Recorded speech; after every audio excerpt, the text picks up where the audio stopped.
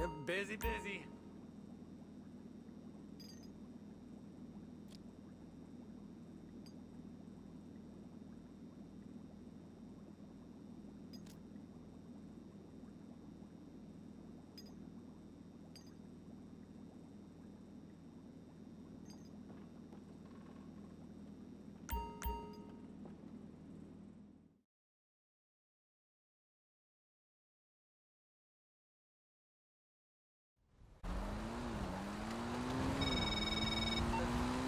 Okay, you ready for this?